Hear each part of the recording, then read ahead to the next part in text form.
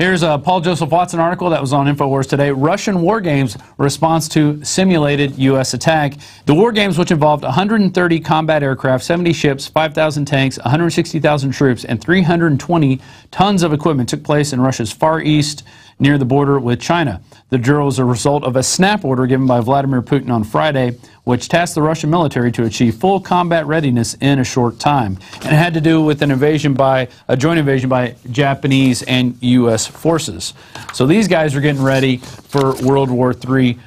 Most likely in response, if we start sending troops into Syria, well, I guess if we send troops in the light, we've already got troops in there undercover. But if we go into a proxy war with Russia, it could lead to World War III, but we're all worried about Trayvon Martin and the George Zimmerman verdict and the race war, which is starting to be er erupting from that. Let's go to an IRS story. This is out of CNS News. IRS employees ordered to send Tea Party cases to IRS's only Obama political employee em, appointee. IRS employees were ordered by their superiors, including Lois, Lois Lerner, who was the lady who got up there and took the Fifth Amendment, who pleaded the Fifth against self-incrimination to send certain Tea Party tax-exempt applications to the Office of the IRS Chief Counsel, which is headed by William Wilkins, who at the time was the only Obama political appointee at the IRS. And they went up and said, oh, no, no, no, we were never interested in doing that to Tea Party groups. We just wanted to look at these applications closely, but they were going to a direct political appointee. This has obvious um, ramifications with that election that took place in 2009 and 10, where you had these Tea Party groups not getting their nonprofit status, therefore they couldn't do certain funding things that other left groups were doing. So there we have it. We've got the proof. And uh, we're going to go to a special report now.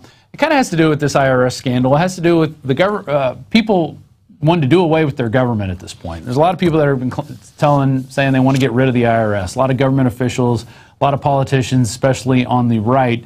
Well, Colorado, specifically north uh, eastern Colorado, is looking to succeed, secede from the rest of Colorado, forming its own state. And they have a lot of different reasons for wanting to do it. And Gigi Arnetta's got this report.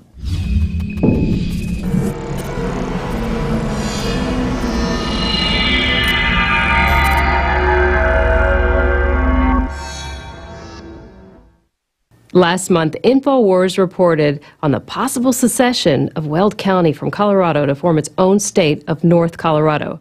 The idea of putting this on the ballot came from intrusive new regulations being placed on rural parts of Colorado. Here's a clip from my interview with Commissioner Mike Freeman. You guys are looking at forming another state, North Colorado, perhaps. It's a conversation that we've had with a number of other counties. Um, and you know, there's a lot of issues that come into this as to the reasons why we're why we're considering doing this. But we would be doing this um, along with with other counties, and and it has nothing to do with whether we're home rule or statutory. What started this? Well, I think there's a number of things that started it. I think probably it's been it's been coming even for several years, but the commissioners went to the governor and um, asked for uh, if they could uh, get a get a uh, 30 day stay on the wells, on all these wells that have been shut down in the South Platte, to um, not turn them back on permanently, but turn them back on for 30 days to allow um, farmers to be able to save their crops, and, and they were turned down by that. And so that kind of started it. And then as we got into this legislative session, I think that it, that it started probably with the gun laws that were passed. I think it went on from there with the, you know, the attack on oil and gas, and that's extremely important to what's going on in Weld County. And I think the thing that culminated it was the was Senate Bill 252, which was passed by the legislature and signed by the governor, which is an alternative energy bill. Ten counties met in the town of Akron, Colorado, to begin mapping the boundaries for the new state of North Colorado. I say 80% of the oil and gas revenue in the state of Colorado is coming out of northeastern Colorado, Weld, Yuma County, and some of the other counties. Commissioner Sean Conway said. One of the immediate issues that would have to be addressed are the water rights between the newly formed state and Colorado. After all the local legalities are addressed, then the Colorado General Assembly and the U.S. Congress have to approve the secession. Check out Strategic Relocation, the documentary film featuring Joel Skousen, and learn all the safe places your family can retreat.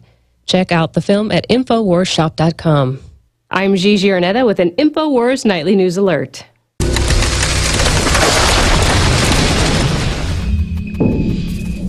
So it'll be interesting to see what happens in Colorado over this. Will we have Northern Colorado a 51st state of the union? And what'll be even more interesting to see is will they still allow the legalization of marijuana in that part of Northern Colorado um, in association or in disassociation with the rest of Colorado? Now you can watch Alex Jones live at Infowars.com forward slash show. You'll find links to all of our content there and a free 15 day trial for Prison Planet TV.